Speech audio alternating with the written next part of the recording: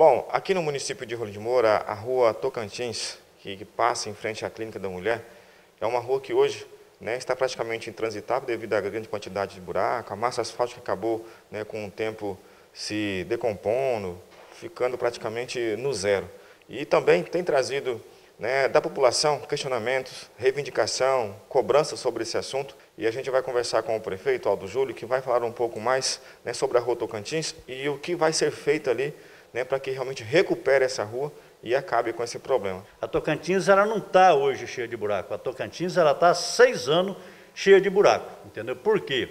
Fizeram um serviço porco, fizeram um serviço é, mal feito e aquele tipo de coisa. Aqui em Rolim de Moura sempre teve um problema de prefeito entrar aqui nessa prefeitura e já pensar na reeleição.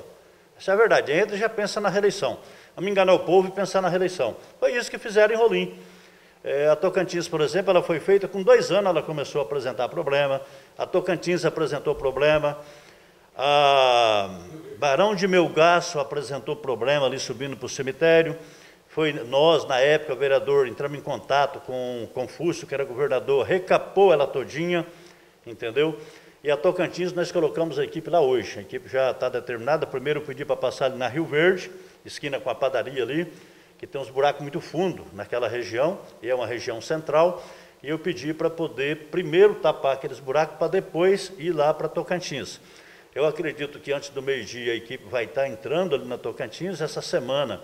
Nós queremos dar uma amenizada naquele problema e na sequência a gente vai vir com o recapamento, porque a equipe do recapamento, que tinha descido para Pimenta, que tinha umas ruas imprimadas para poder fazer asfalto lá em Pimenta, e era a mesma equipe de Rolim que ia fazer lá, fez o que tinha que fazer em Pimenta e hoje essa equipe está chegando em Rolim, volta o recapamento, que é um projeto de 18 quilômetros, nós conseguimos aprovar agora 48, vai fazer mais 30 quilômetros de recapamento, e dentro desses 30 quilômetros de recapamento, a gente vai colocar aquela quadra em volta toda do hospital e vamos ligar a Tocantins até o asfalto novo que foi feito pela Deterra, que é um asfalto da gestão passada que não tinha terminado, e nós terminamos nessa gestão. Perfeito. Agora outra questão também é a Fortaleza.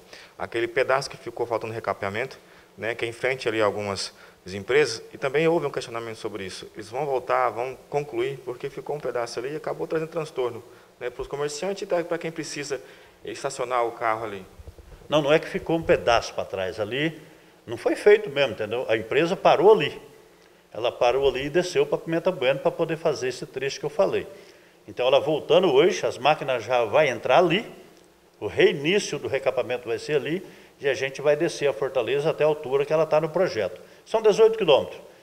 E eu quero ver se até o Natal a gente acelera esses 18 quilômetros para que a cidade possa ficar um pouco mais bonita, entendeu? E aí, como eu disse, o projeto dos outros 30, a nossa equipe terminou, foi para o SEI na sexta-feira, a Soninha já registrou no sistema eletrônico do governo de Rondônia, na Casa Civil, e esses 30 quilômetros vai ser, o recurso vai ser liberado, dá 9 milhões e 600 mil, ele vai ser liberado para que o município possa executar esse recapamento. O que aconteceu com o Tchau Poeira? O governo veio e, a, e a, o planejamento deles era fazer tudo com a estrutura do DR. Aí como o governo soltou obra demais, a estrutura do DR ficou pequena. Aí houve atraso em algumas obras, inclusive a de Rolim de Moura. Agora, o que, é que o governo fez? Ele reuniu com os prefeitos, levamos a reivindicação para ele, e ele entendeu que é muito serviço para o Estado, com a estrutura pequena que tem, e ele vai repassar o recurso para que os prefeitos licitem. Aí sim, eu vou poder licitar uma empresa, vou poder acompanhar, e eu, como prefeito, nós, como poder público, vamos poder fiscalizar essa obra, porque a obra vai ser nossa. Aí nós temos poder de caneta de fiscalização. Eu não tenho poder, por exemplo, de multar uma empresa que está trabalhando para o Estado.